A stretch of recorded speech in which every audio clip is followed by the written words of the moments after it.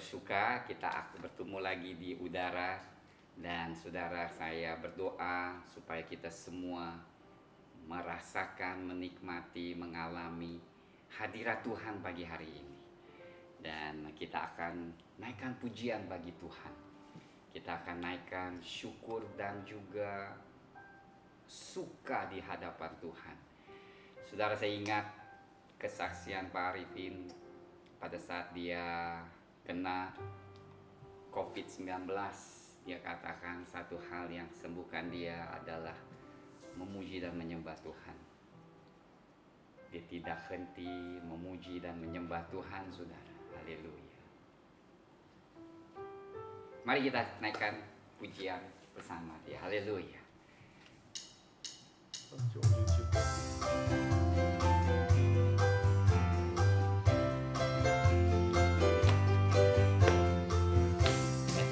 I said, be.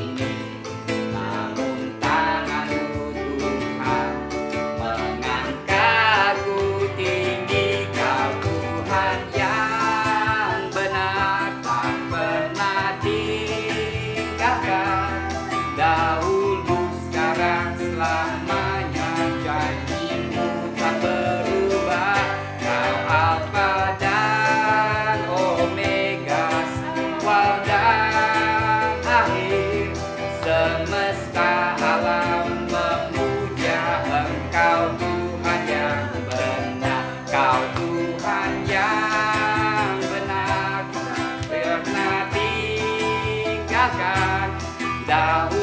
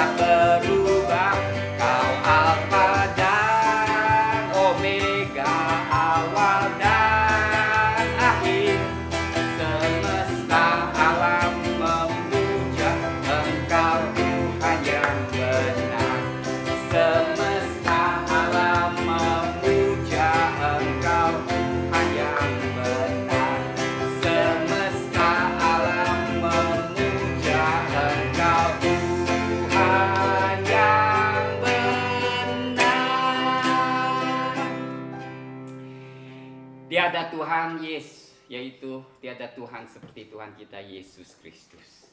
Tiada Allah seperti Allah kita, gagah perkasa. Tiada Bapa di surga yang begitu mengasihi dan memelihara kita semua. Satu hal yang begitu luar biasa tentang Allah dan Tuhan kita, saudara. Dia adalah Tuhan yang bukan saja mengasihi, tetapi juga memelihara. Ya, kadang-kadang dia mendisiplin, tetapi tujuannya karena dia sangat mengasihi kita semua. Biar pagi hari ini, saudara, kita naikkan sebuah pujian yang biarlah pujian ini yang menjadi saksi hidup kita, saudara. Kita bagai menjadi umat yang hidup dengan kudus, persembahkan tubuh, jiwa, dan roh, menguduskan seluruhnya bagi Dia, saudara. Haleluya.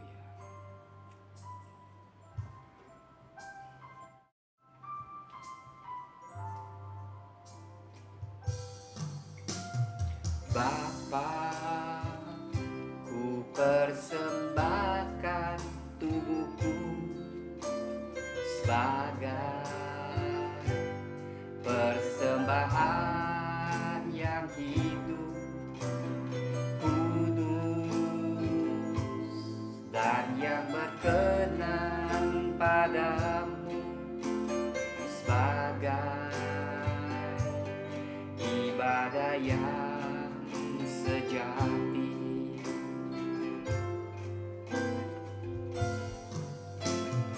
Bapa, ku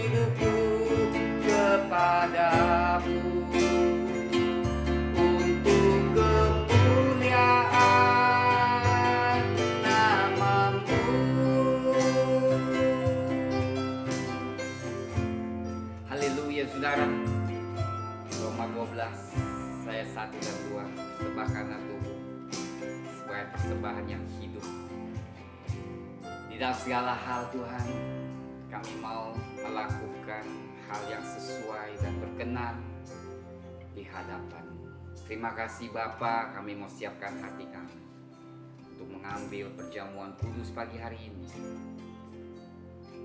Berkatilah di dalam nama Tuhan Yesus. Amin. Haleluya.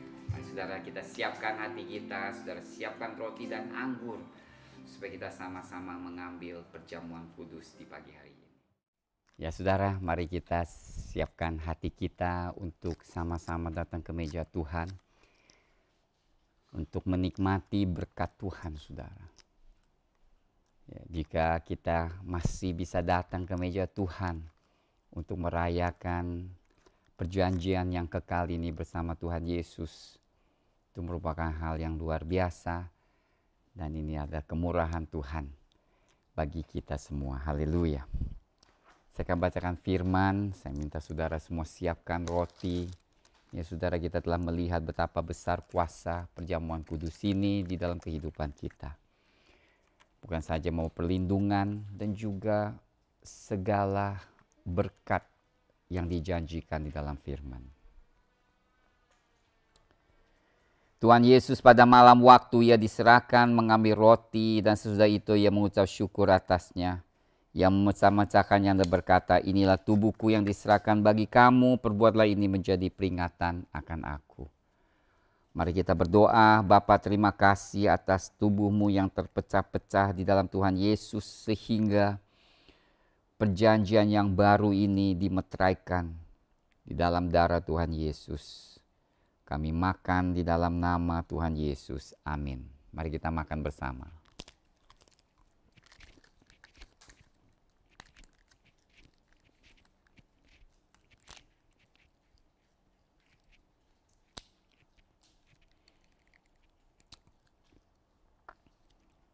Mari kita angkat cawan di tangan kanan kita dengan tinggi-tinggi. Demikian juga ia mengambil cawan sesudah makan lalu berkata, Cawan ini adalah perjanjian baru yang dimeteraikan oleh darahku. Perbuatlah ini setiap kali kamu meminumnya menjadi peringatan akan aku. Sebab setiap kali kamu makan roti ini dan minum cawan ini, kamu memberitakan kematian Tuhan sampai ia datang. Mari kita minum bersama.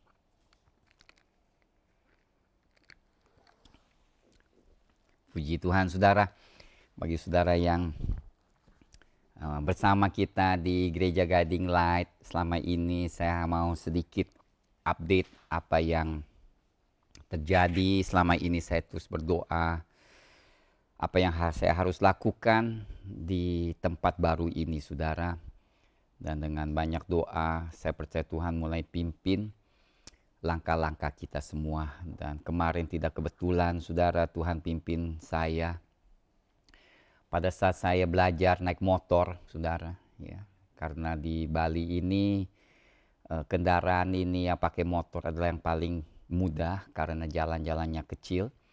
Dan ternyata memang ada maksud Tuhan walaupun ini merupakan hal yang kayaknya biasa-biasa tetapi ternyata ada pimpinan Tuhan dan tidak kebetulan saya berjumpa dengan seorang yang sesungguhnya sangat membutuhkan pertolongan. Dia meminta kerja dan sebagainya. Dan uh, saya bergaul dan juga akhirnya sempat masuk ke rumahnya untuk melihat keadaannya saudara. Dan sang, tentunya sangat menyedihkan. Corona selama setahun lebih ini sungguh telah mendatangkan banyak kesulitan saudara bagi banyak orang. Dan beliau saya melihat bukan seorang yang malas tetapi sesungguhnya tidak ada kerjaan. Dan sehingga roh kudus uh, mendorong hati saya untuk mm, membeli sedikit sembako untuk dia dan keluarganya. Saya melihat anaknya begitu gembira, anaknya yang waktu paling kecil masih satu tahun yang lahir pada saat COVID-19 ini. Bayangkan saudara anak ini sudah satu tahun tapi tidak pernah merasakan susu. Yaitu dia tidak pernah minum susu kaleng ataupun sejenisnya saudara. Inilah keadaan ya saudara kita melihat di mana-mana bukan saja saya percaya di Bali tetapi banyak tempat mulai susah saudara. Dan saya yakin gereja merupakan terang dan merupakan garam. Dengan kuasa Tuhan saya percaya Tuhan sanggup melalui gerejanya menyatakan kemuliaannya, kebaikan Tuhan lewat kita semua. Doakan kami saudara, saya terus berdoa apa yang saya harus lakukan. Karena saya tidak percaya hanya datang untuk tinggal di tempat yang baik, itu saya bersyukur. Tapi saya juga percaya ada maksud Tuhan pastinya. Jauh-jauh datang kemari, Tuhan pimpin, pasti ada tujuan yang luar biasa untuk memuliakan nama Tuhan. Haleluya. Nah pagi ini eh, tidak kebetulan juga setelah berapa hari yang lalu Tuhan telah menempatkan satu topik yang saya rasa amat-amat penting, yang juga selama ini saya tidak lihat pewahyuan yang berbeda dari segi yang berbeda, yaitu persembahan kita, saudara. Ya, persembahan. Saudara di dalam kehidupan orang Kristen, orang yang lahir baru, yang bertumbuh di dalam Tuhan, pasti ya saudara juga adalah orang yang berdedikasi untuk memberi saudara. Baik itu dalam bentuk perpuluhan maupun persembahan atau pernolongan dan sebagainya. Kita adalah umat yang memiliki roh yang serupa dengan Tuhan Yesus. Nah, jikalau Tuhan Yesus datang berkorban secara total keseluruhan, memberikan nyawa dan hidupnya bagi umat manusia. Ini sifat yang sama ada di dalam Roh Kudus dan sekarang Roh Kudus tinggal di dalam kita, maka kita pun akan pasti memiliki sifat yang serupa dengan Tuhan. Yaitu membawa persembahan perpuluhan dan juga persembahan syukur dan sebagainya ke dalam Tuhan, Saudara. Uh, saya tahu mungkin topik ini agak sulit bagi kita saat ini karena semua di dalam keadaan sulit ya. Uh, maka membawa persembahan perpuluhan dan sebagainya kadang-kadang merupakan tantangan yang amat-amat besar saudara saya dapat mengerti hal itu ya pada saat kita masih segala sesuatu dalam kesegala sesuatu keadaan baik tentunya kita nggak terlalu berat Tetapi justru pada saat yang sulit-sulit ini, ya kita kadang merasakan hmm, suatu tantangan membawa perpuluhan ke dalam rumah Tuhan. Tetapi di sinilah saudara yang menunjukkan kededikasian ya, dedikasi kita kepada Tuhan saudara. Dan ketika kita melihat perintah Tuhan kepada kita, ya, yaitu kasihilah Tuhan Alamu dengan segenap hatimu, segenap jiwamu, segenap akal budi dan kekuatanmu. Dan juga kasihilah sesamamu dengan seperti dirimu sendiri. Kita melihat perintah Tuhan ini ada dua sudut dan pemberian juga ada dua sudutnya ya saudara. Kita tahu jika kita mengasihi Tuhan, maka kita juga akan membawa sesuatu yang wajib kita bawa kepada Tuhan. Dan kita juga yang mengasihi sesama, kita juga akan mengulur ya tangan kita untuk memberi pertolongan bagi sesama manusia yang membutuhkannya. Nah, di dalam persembahan ini, saudara, hmm, yang saya mau tekankan adalah dua jenis yang amat penting yang perlu kita pahami yaitu yang satu adalah suatu kewajiban. Kewajiban itu berarti kita membawa persepuluhan itu, itu adalah suatu kewajiban atau uh, yang diperintahkan Tuhan di Maliaki 3.10. Itu adalah sesuatu yang kita wajib bawa ke rumah Tuhan. Uh, tidak tergantung pada feeling kita, apakah kita mau atau tidak, apakah kita rasakan cukup atau tidak, ini bukan dipertanyakan lagi. Tentunya saudara, Tuhan menghendaki kita membawa segala perpuluhan persembahan dengan sukacita dan mengerti saudara. Nah kita melihat terdahulu ya saudara, mari kita melihat dulu uh, di Maliaki pasal 3 saudara, supaya kita mengerti apa yang maksud Tuhan ya. Di Maliaki pasal 3, lihat perhatikan baik-baik ya. Karena selama ini kita mungkin lebih menekankan perpuluhan. Tetapi kenyataannya di Maliaki pasal 3 ayat 10 bunyinya, Bawalah seluruh persembahan persepuluhan itu ke dalam rumah Tuhan supaya ada persediaan makan di rumahku dan juga ujilah eh, di sini bahasa Inggrisnya persembahan dan persepuluhan. Am I right? Offering.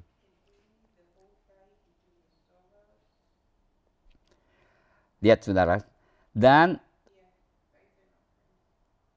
sebenarnya adalah persembahan dan persepuluhan.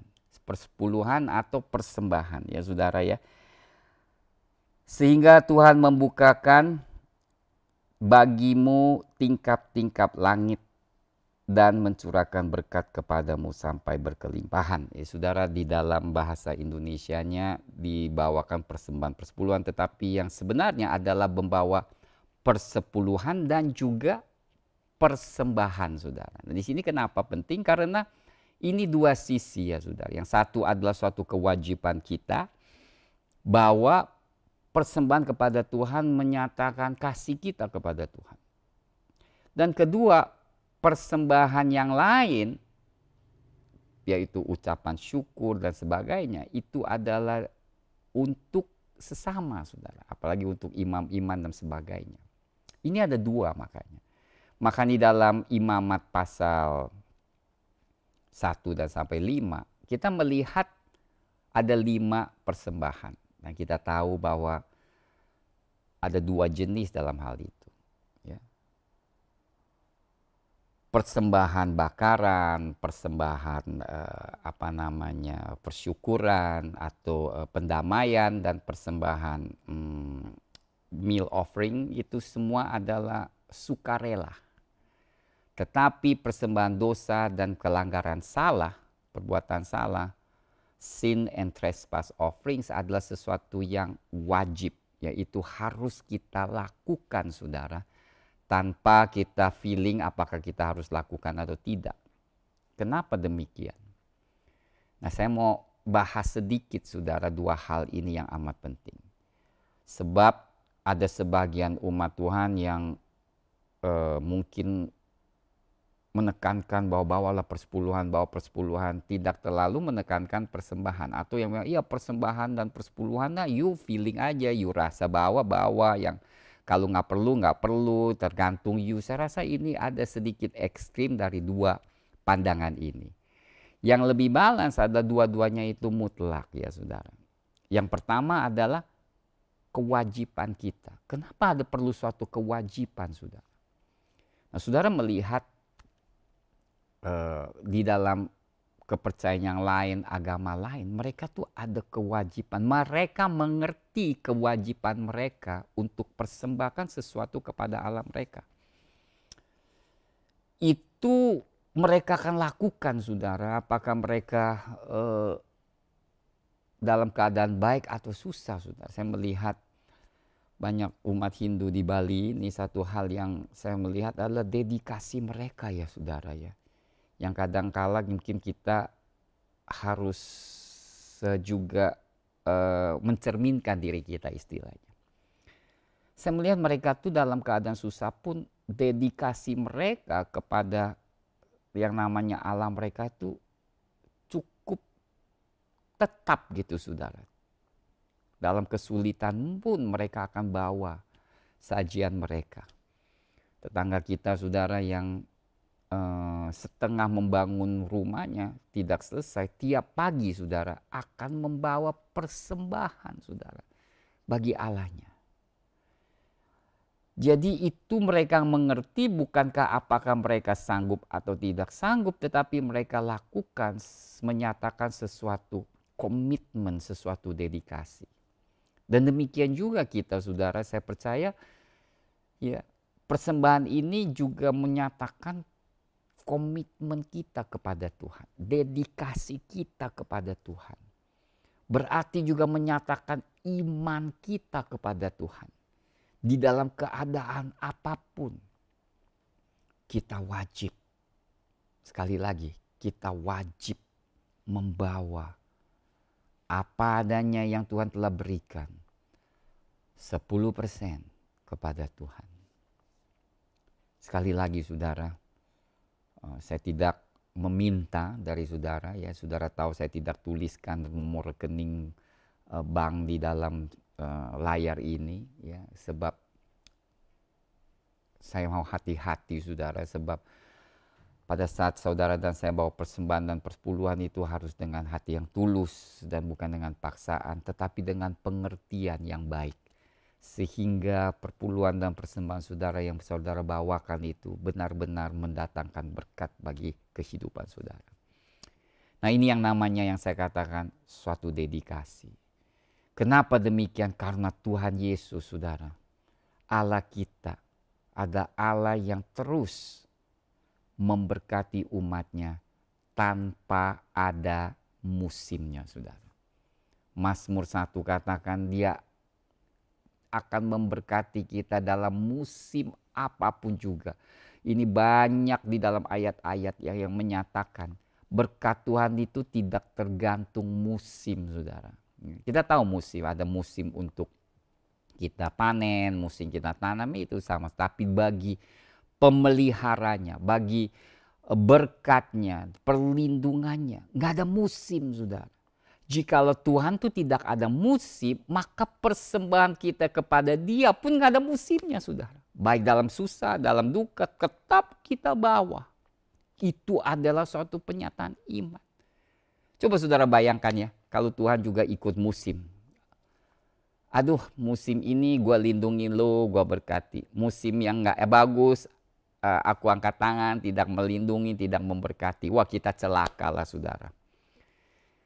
Karena Allah tidak ada musim, maka kita pun dedikasi kita tuh nggak ada musimnya. Adalah suatu komitmen, suatu dedikasi untuk mencintai Tuhan, untuk membawa persembahan kita ke rumah Tuhan.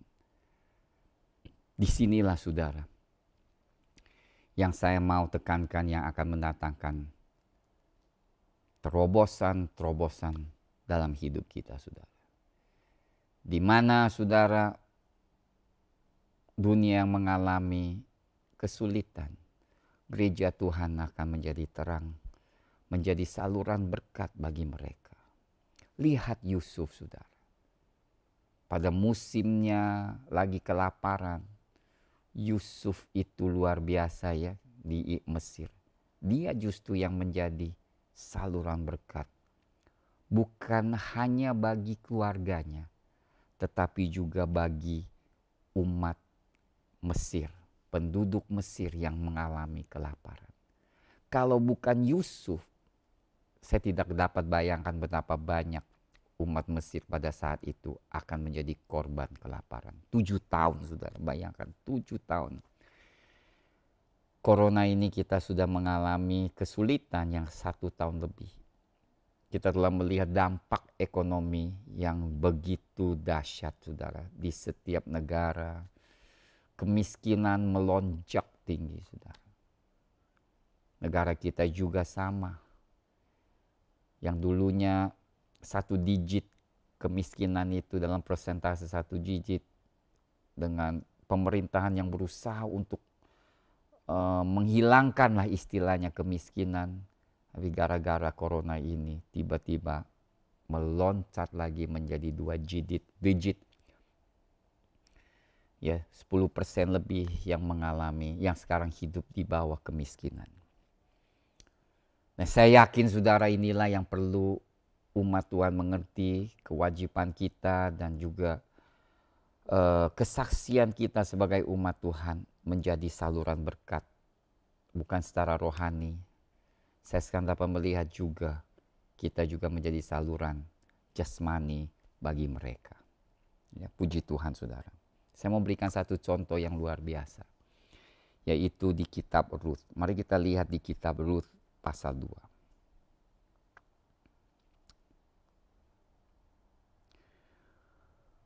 Kita sering menekankan Ruth ya, yang luar biasa yang orang Moab itu menjadi pengikut Yehova, saudara. Ah, mungkin kita kurang begitu mempelajari Boas yang sebenarnya suatu uh, kesaksian dalam kehidupan yang luar biasa. Dikatakan, dikatakan Rut pasal 2 ayat 1. Ya. Naomi itu mempunyai seorang sanak dari pihak suaminya. Seorang yang kaya raya. Lihat bayangkan, dia Boas adalah kaya raya dari kaum Elimelek namanya Boas. Dari ayat pertama kalau Alkitab Perjanjian Lama mengatakan kaya, itu biasanya kaya di dalam rohani dan kaya juga di dalam jasmani ya saudara. Jadi di dalam hal ini Boas ini adalah kaya di dua pihak. Kenapa dia bisa menjadi kaya saudara?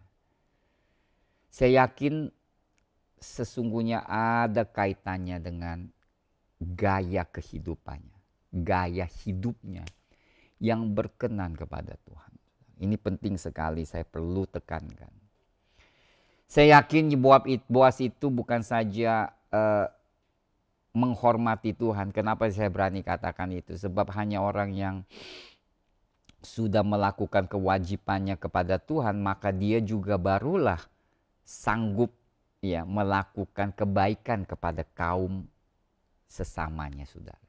Ya, jadi ini kita tidak perlu tanyakan apakah Boas itu setia membawa perpuluhan dan sebagainya kewajiban yang di yang diperintahkan di dalam Alkitab perjanjian lama dia pun dia pasti penuhilah saudara. Kenapa kita melihat dari kehidupan yang kecil-kecilnya bagaimana dia uh, menebus uh, Ruth ya dengan hati-hati e, menanyakan apakah ada yang lebih dekat untuk menembus Ruth dan ini semuanya itu dia lakukan sesuai dengan firman dan aturan-aturan yang ditentukannya sudah sehingga kita melihat Boas adalah seorang anak Tuhan kaum Israel yang mencintai Tuhan.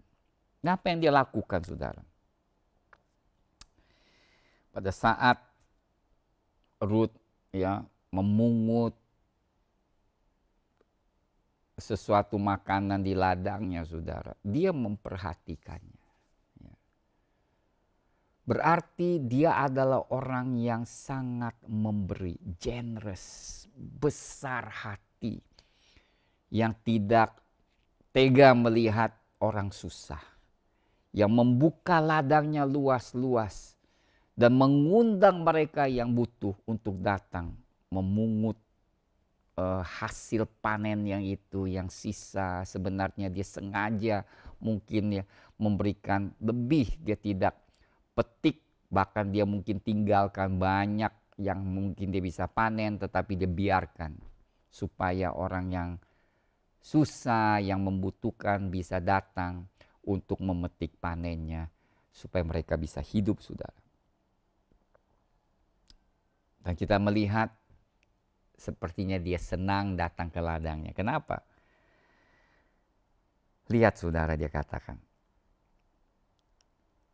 Ayat 3. Pergilah ia lalu sampai di ladang dan memungut jelai ya di belakang penyabit-penyabit. Kebetulan ia berada di tanah milik Boas yang berasal dari kaum Elimelek. Berarti Ruth pergi ke sana memungut jelai yang dari Elimelek yaitu Boas. Lalu datanglah Boas dari Bethlehem, ia berkata, berkata kepada penyabit-penyabit itu, Tuhan kiranya menyertai kamu. Jawab mereka kepada Tuhannya kiranya memberkati Tuhan. Lalu kata Boas kepada bujangnya yang mengawasi penyabit-penyabit itu, dari manakah perempuan ini? Jadi saudara kita bisa melihat dari ayat-ayat yang singkat ini kita bisa membawakan suatu kesimpulan bahwa Boas itu ada orang-orang yang mengawasi sengaja saudara untuk mereka jangan sampai ribut saat menyapi saat mereka kumpulkan jelai. Dan di satu pihak saudara bisa melihat pada saat Ruth datang orang baru dia langsung bisa perhatikan ini orang baru saudara. Berarti apa? Berarti Boas itu mungkin setiap hari nongkrong di sana melihat orang ambil atau paling sedikit rutin lah di tempat ini untuk memperhatikan mereka yang butuh mengenal mereka, yang butuh untuk memungut jelai-jelai ini. Tiba-tiba datanglah seorang wanita yang namanya Ruth, dia langsung ini siapa ini? Yang baru, pemungut yang baru saudara. Dia berarti dia tuh bukan hanya memberi tetapi dia memperhatikan, dia fokus perhatikan pemberiannya kepada orang-orang yang membutuhkan. Dan setelah dia tahu latar belakangnya Ruth, dia merasa gembira sekali. Kenapa? Karena Ruth memiliki suatu kesaksian yang luar biasa karena Ruth itu meninggalkan kaum bangsanya untuk bergabung dan menjaga mertuanya Naomi. Oleh sebab itu, nah saudara perhatikan lagi karena Ruth itu menyambut Tuhan, Boas ini lebih memberkati Ruth. Lihat nggak saudara? Berarti apa?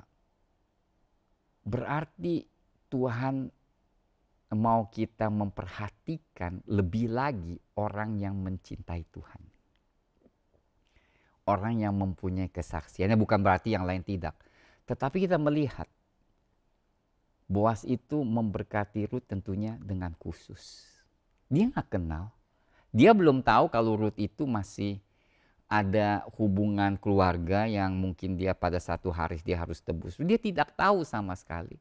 Dia hanya tahu satu hal. Bahwa Ruth memiliki suatu kesaksian yang sudah tersebar yang luar biasa.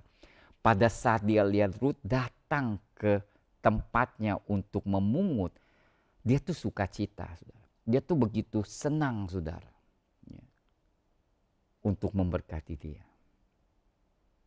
Itu luar biasa saudara. Lihat apa yang dikatakan. Pada saat Boas menunjukkan perhatian yang khusus kepada Ruth itu terkejut. Terkejut. Ayat 10. Sujudlah Ruth menyembah dengan mukanya sampai ke tanah dan berkata kepadanya, Mengapa aku mendapat belas kasihan dari kepadamu? Sehingga Tuhan memperhatikan aku padahal aku ini seorang asing. Mungkin Ruth juga minder karena dia bukan orang Israel, bukan orang Israel dan juga uh, pas datang dia juga udah kematian suami, udah miskin, minder dan tiba-tiba tuh justru Boas lebih memperhatikan dia, Saudara. Memperhatikan orang yang sangat membutuhkan. Terkejut si Ruth sampai menyembah istilah menghormati mukanya ke sampai ke tanah bayangkan sujud saudara dia kepada Boas Nah alasan kenapa Boas menolong Ruth jelas sekali. Karena Boas menjawab apa? Menjawab di ayat 11. Telah dikabarkan orang kepadaku dengan lengkap segala sesuatu yang engkau lakukan kepada mertuamu sesudah suamimu mati. Bagaimana engkau meninggalkan ibu bapamu dan tanah kelahiranmu serta pergi kepada suatu bangsa yang dahulu tidak engkau kenal. Tuhan kiranya membelas perbuatanmu itu. Dan kepadamu kiranya dikaruniakan upamu sepenuhnya oleh Tuhan Allah Israel yang di bawah sayapnya engkau datang berlindung. Boas ini yang lebih lucu lagi. Dia memberkati Ruth, dia bilang biar Tuhan melengkapi, memberkati. Tapi dia sendiri yang siap menjadi saluran berkat Tuhan itu kepada Ruth. Lucu kan sudah? Luar biasa ya. Dia tidak bilang, biarlah aku memberkatimu. Biar Tuhan yang berkatimu. Dia tidak bilang juga aku menjadi saluran berkatnya. Tetapi dia diam-diam menjadi saluran berkat bagi Tuhan kepada Ruth.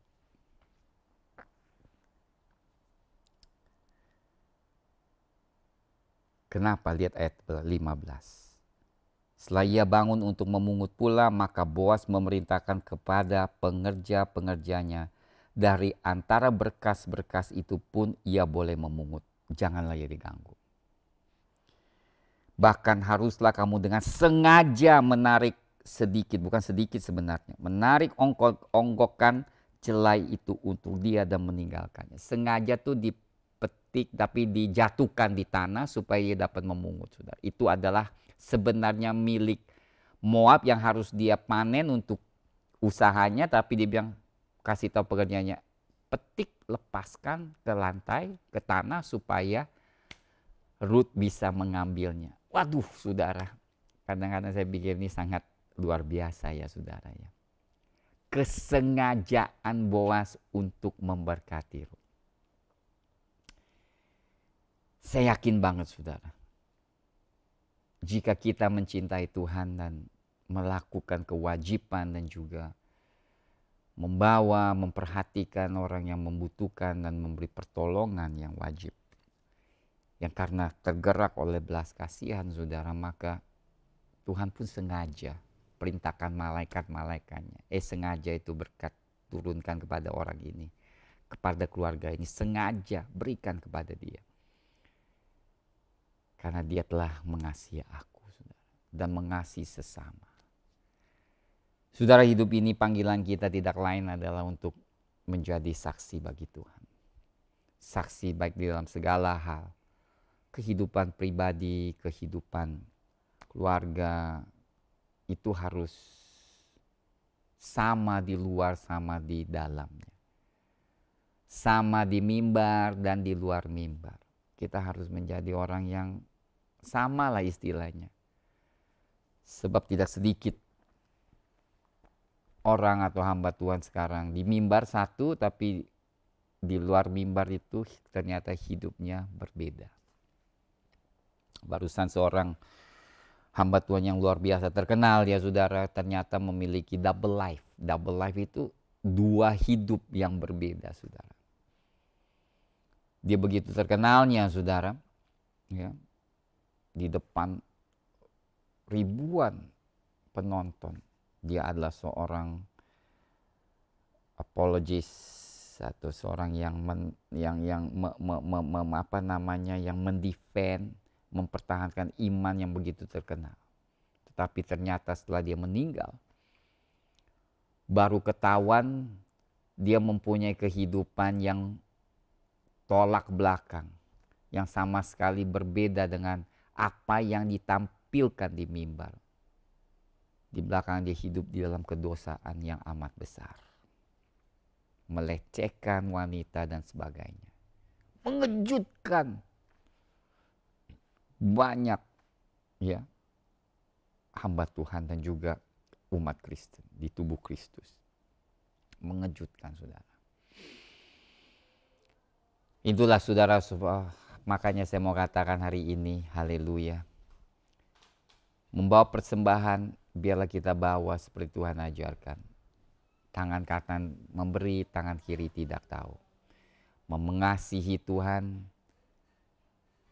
Orang yang mengasihi Tuhan juga orang yang membawa persembahan wajib, yaitu harus, dan juga persembahan yang tergerak oleh belas kasihan, saudara. Dua, dua ini harus diterapkan dalam kehidupan kita. Maka kita akan balance, maka kita akan melihat perkenanan Tuhan dinyatakan di dalam hidup kita. Haleluya, saudara. Saya berharap firman pagi hari ini memberkati kita semua dan menjadikan kita terang dan garam pada saat-saat ini. Tuhan memberkati. Haleluya. Angkatlah tangan saudara. Terimalah berkat pagi hari ini di dalam nama Tuhan Yesus. Tuhan memberkati engkau dan melindungi engkau, menyinari engkau dengan wajahnya dan memberi engkau kasih karunia. Tuhan menghadapkan wajahnya kepadamu dan memberi engkau damai sejahtera. God bless you. Tuhan memberkati prosper the works of your hand, memberkati pekerjaan tanganmu dan menjadikan engkau garam dan terang di saat-saat ini. Kebaikan sekecil apa pun dia lakukan untuk nama Tuhan, Tuhan tidak akan lupakan dan melimpahkan kasih karunia kepada saudara yang telah berkorban, menolong, memberkati sesama. Amin.